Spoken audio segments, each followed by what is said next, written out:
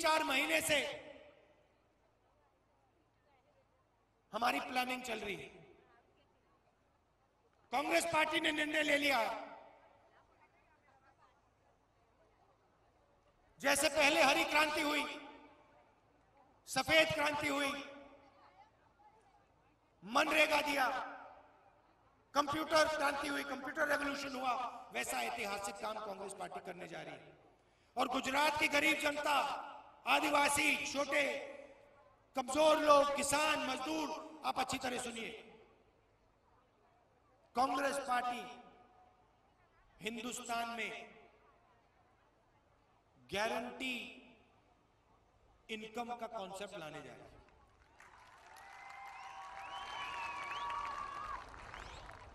Income guarantee का मतलब हिंदुस्तान के सब गरीब लोगों के बैंक अकाउंट में डायरेक्ट, सीधा। जैसे नरेंद्र मोदी, अनिल अंबानी जी के बैंक अकाउंट में तीस हज़ार करोड़ रुपए डालते हैं, वैसे कांग्रेस पार्टी हिंदुस्तान के हर गरीब के बैंक अकाउंट में धड़ाक से पैसा डालेगा।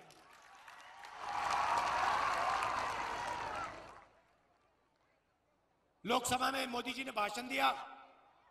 बजट में उन्होंने कहा अनाउंसमेंट की, मैंने देखा। पाँच मिनट, धड़ धड़ धड़ धड़ धड़ धड़ धड़, बीजेपी के नेताओं ने ताली बजाई।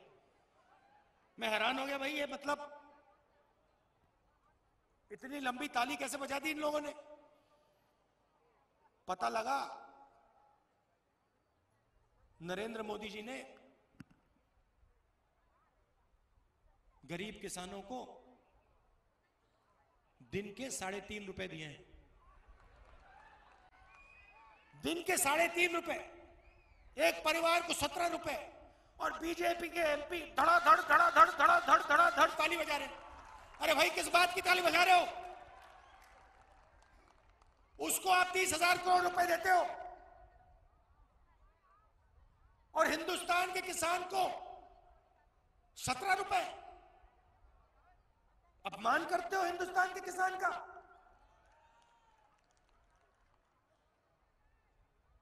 मध्य प्रदेश की सरकार, छत्तीसगढ़ की सरकार हज़ारों करोड़ रुपए कर्जा माफ़ करती है। आप सत्रह रुपए की बात करते हो। और फिर पाँच मिनट ताली बजाते हो, किसका बेवकूफ़ बना रहे हो आप लोग? तो हमारी जो इनकम मिनिमम इनकम की गारंटी होगी, वो तीन रुपए की, सत्रह रुपए की नहीं होगी। हर गरीब व्यक्ति के बैंक अकाउंट में हिंदुस्तान की सरकार कांग्रेस पार्टी की सरकार डायरेक्ट पैसा डालेगी। और ताली आप बजाओगे। हमारे भी बनाए बजाएँगे।